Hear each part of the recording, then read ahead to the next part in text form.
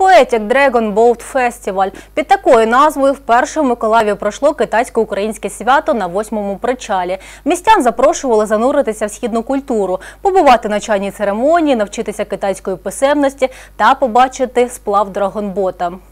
Організували перший в Україні традиційний китайський фестиваль Національний університет кораблебудування імені адмірала Макарова та управління молодіжної політики міської ради. Онуки наразі здобувають знання більше трьох сотень студентів з Китайської Народної Республіки. Тож на меті було, щоб таке свято допомогло китайським студентам відчути себе як вдома, а українським наблизитися до східної культури. Це не тільки е, заходи, які присвячені китайській культурі, китайському е, письменності, китайській е, навіть музиці.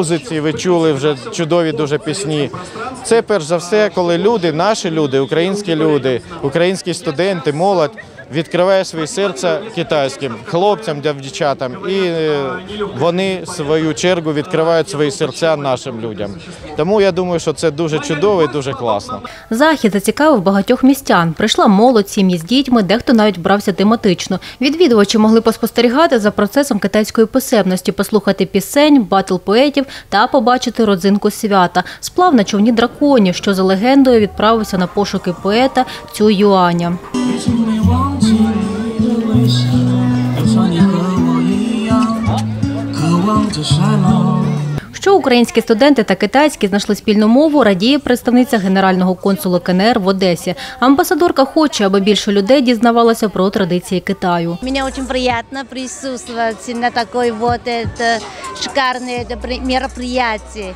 Как-то это я приехала мимо вот сегодня из Одессы в Николаев. Я, у- я уже чувствую, что такой вот эта атмосфера, атмосферу здесь, как это праздничная эта атмосферу. Вже чотири роки Миколаїв є рідною домівкою для Січана Фучина. Хлопець навчається внуки. Від фестивалю в захваті з поміж різних локацій найбільше сподобався китайський човен. Він нагадав йому, як подібний фестиваль проходить в його місті. Этот праздник э, называется Туанву. Это значит, э, а у нас есть, есть в Китае есть и соревнования по э, лодке.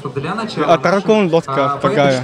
Січану подобається жити в місті Корабелів. Каже, тут дуже привітні люди. Хлопець цікавиться і українською культурою, і заодно східну поширює серед своїх друзів. Мої одногруппники, вони не рисуются иероглиф і часто заставляють, заставляють иероглиф а его имя.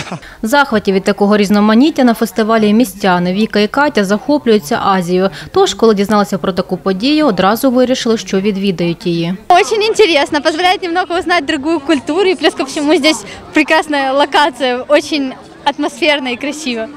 Да, мне очень все нравится, выступление пока все нравится, и нравятся развлечения, которые для нас устроили. Песня – это история, это язык.